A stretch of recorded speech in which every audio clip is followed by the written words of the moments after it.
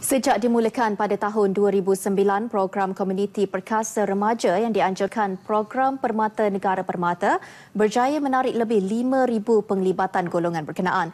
Justru Permata berhasrat untuk memperluas program tersebut ke lebih banyak negeri.